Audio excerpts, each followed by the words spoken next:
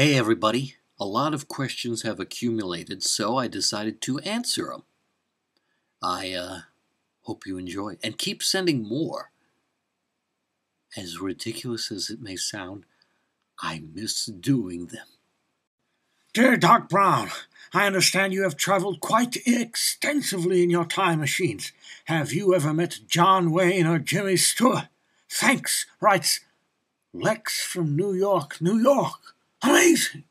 New York within New York. Uh, anyway, John Wayne or Jimmy Stewart. Well, I figured I have a time machine. Last thing I want to do is meet a stupid celebrity, right? Oh, I don't run into any of those. Oh, no. What I like to do, I like to travel into the past, and I do things that other people didn't get to do back then unless they knew about it in the future. So, let me give you an example. I would go into the past and I'd hunt polar bears. Oh, I'd hunt a bunch. And uh, because later on, you know, they get extinct, you know. I'm, oh, I'm sorry. I didn't say anything extinct. No, they're endangered now. Right. Nothing uh, happens to them in the uh, in the future. Anyway, I do a whole bunch of things like that. I got great big fur coats, but then you know after doing that, I felt kind of bad.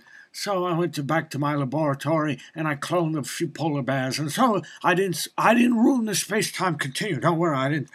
I didn't. You know, I practice what I preach, and uh, but if there's one thing I, I, I enjoy most about time travel it's the fact that when I get back home to my own time, I really, really appreciate it because you go and you say, I'm glad I didn't live back then, I'm glad I don't live there in the future. Come back, nice couch, sipping on your martini, and you can just think and ponder and read history books and say to yourself, Isaac Newton was a schmuck. Dear Dylan Moran, your hair is, is crazy. Why, why do you have it like that? Right, Francine from Ireland. Well, Francine, I'm glad you're Irish because if you weren't Irish, I probably wouldn't answer your question. My hair is is crazy because I don't I don't have time to to to groom myself. I I I, I do have nice hair and I, I like moving it around and and and it it kind of gets in, in the way of things sometimes especially when when when you try to light a cigarette like you have you have a lighter and, and you say to yourself i i want to light something. And you go uh, you go for a smoke and go yeah right it's nice. And then you burn your hair. Oh my god i actually did. That was crazy.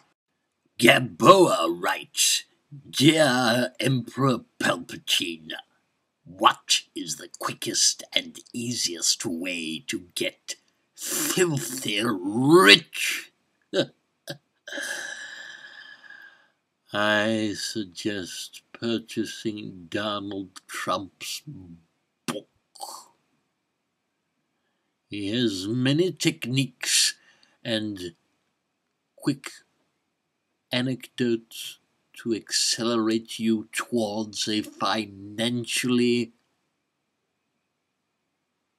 successful future. Start a business selling waffles at your local farmer's market. And if you are unsuccessful, then you can sell something off eBay. I don't know. Be original. That's the key, my young friend. Don't try to imitate others doing impressions of what works. Dear Peter O'Toole, how does one go about making a paper aeroplane? Writes Keena from Toronto. Well, Keena, thank you very much for your question because I know I am an expert on the field.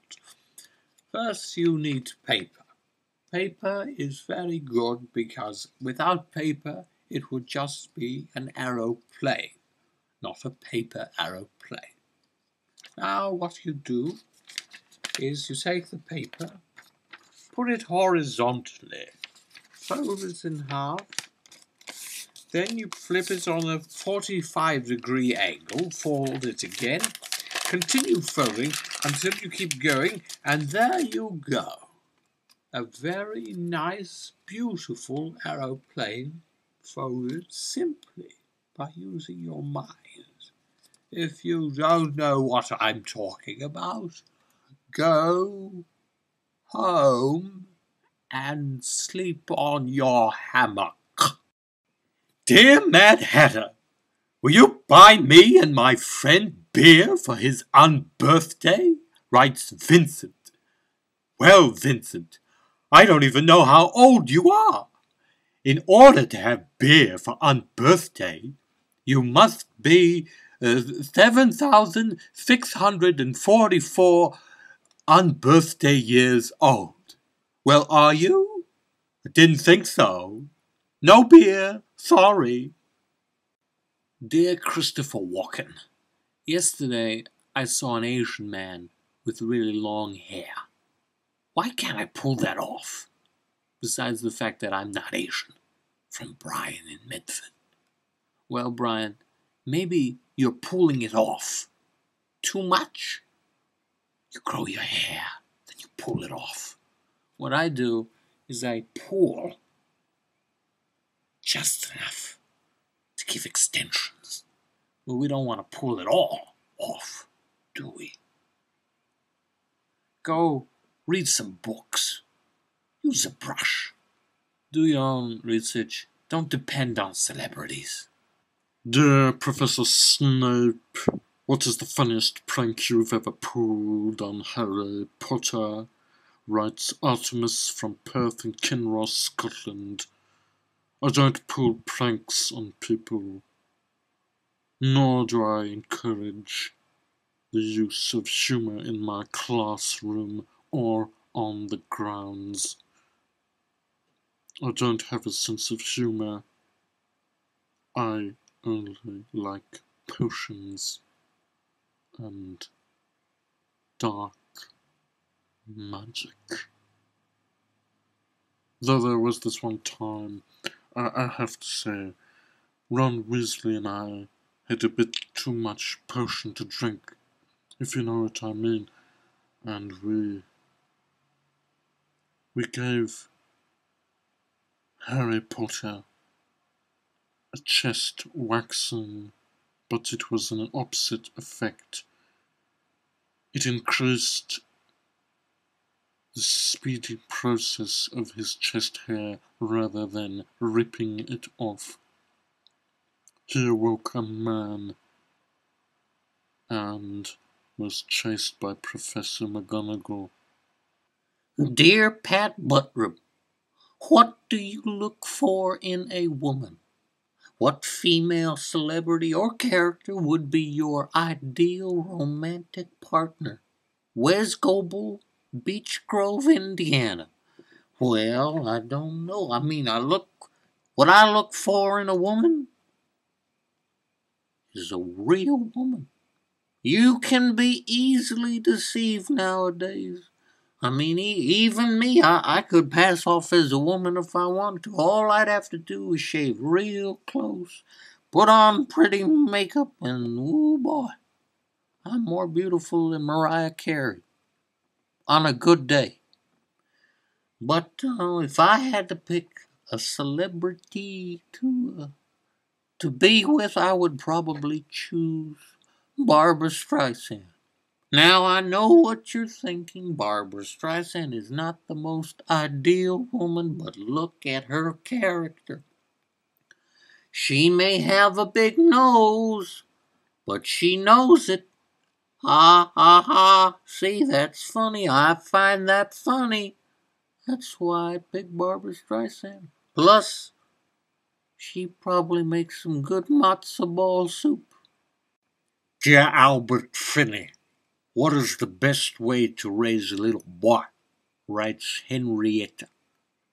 The best way to raise a boy is to call him son.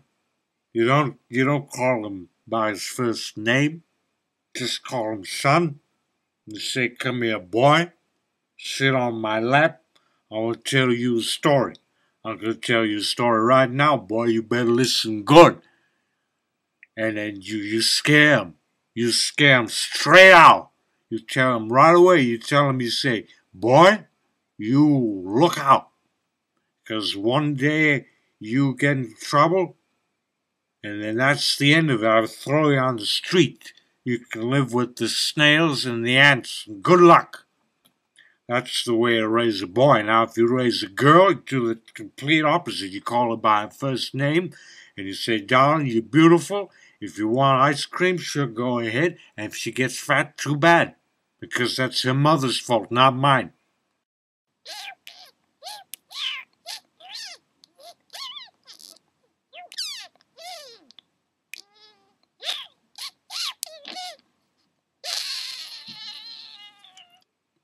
Be sure to subscribe.